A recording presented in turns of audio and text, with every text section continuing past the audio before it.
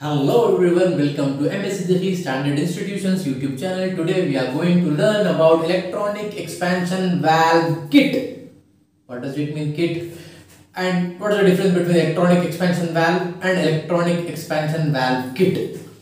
Electronic expansion valve is a valve which will be given to one IDU. Electronic expansion valve kit is a kit which is been given to 3 to 4 I mean to say for multiple IDUs one kit is enough. No need to provide a electronic expansion valve for every individual IDU okay? This one kit will serve 3 to 4 indoor units. How? Let's see. And one more important thing what is electronic expansion valve? Point number 1 electronic expansion valve is used to control the flow of refrigerant in the DX system. How it is controlling the flow? Basically in your IDU indoor unit you will be having electronic board with its controller. That electronic board with its controller senses the temperature of the room and as per that required amount of temperature it sends the signal to your EEV regarding how much amount of refrigerant is required to cool that room. So the signal from the control, okay, from where the particular controller will be sent to your EEV back EEV kit. So EEV kit gets the signal from where? From IDU controller. Then this EEV kit will be having a small motor in it, okay, and that motor will open the valve port to let the gas or refrigerant from where from your condenser via your electronic expansion valve to your where IDU just to maintain the temperature or for temperature control of the particular room. Understanding? As you can see in this figure, figure particular figure okay what's happening over here? You just follow my finger okay better i'll be taking a pen. Right you just follow my pen. From here from condenser we are getting condensate liquid.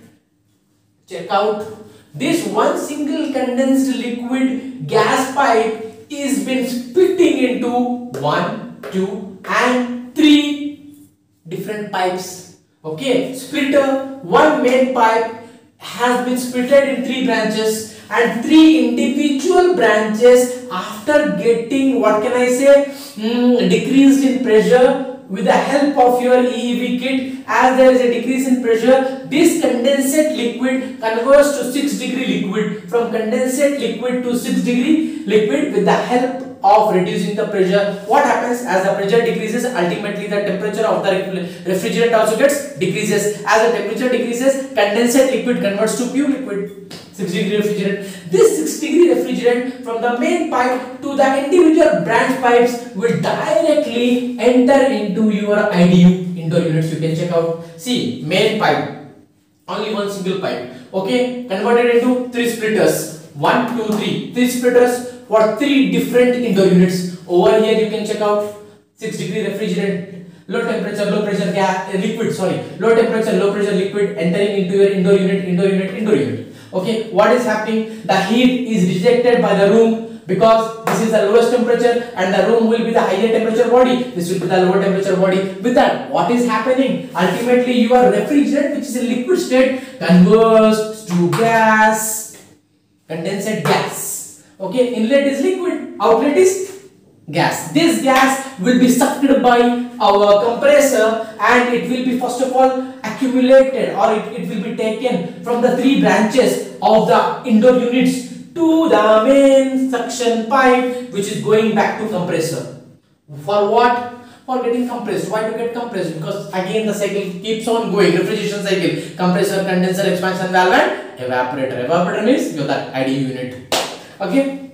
Hope you understood this cycle. What is happening over here? From here we took a condensate liquid. Okay. This condensate liquid pressure is reduced by our electronic valve kit. This electronic valve kit what it is doing? It's reducing the pressure. What happens if it reduces the pressure? Ultimately the condensate liquid converts to pure liquid low temperature low pressure 6 degrees celsius. This 6 degrees celsius from the main pipe can if we uh, split it into branch pipes 1 2 and 3 these three branch pipes are for three different inputs to the three different idus okay? And it is entering over here as what is happening as it enters room rejects its heat. Due to that what is happening? The particular 6 degree liquid evaporates and the evaporated gas that is nothing but condensate gas again taken by, by taken back by the suction line from the three branches to the one main suction it's going back to your compressor. That's fine. That is about your electronic valve kit. For it is for three room electronic valve kit. Fine then. What these three things are now let's talk about the control, the flow control of your VRF VRV system. How it is being controlled? You know, I have given in many of my lectures. See, VRF VRV is very, what can I say, prominent. Why? It has DC compressor, inverter compressor, electronic expansion valve kit with uh, uh, n number of controllers in the motherboard into the PCB printed circuit board which you will be finding in IDUs as well as in your outdoor units. So let's see small wiring of electronics. Here you can see one, two, three. These are nothing but the communication wires. One is yellow, one is blue, one is white. This yellow, blue, white communication wire from here, from where? From your electronic expansion valve kit will be given to every IDU. Where? To every IDU controller. What it is controlling? The controller, what it is doing? The controller is controlling the flow of refrigerant. Understanding why it is controlling the flow of refrigerant? The amount of refrigerant required to cool a particular space, that much of amount only it will be taking. With this, what is happening? Energy is getting minimized. Understanding? With us, what is happening? Less billing.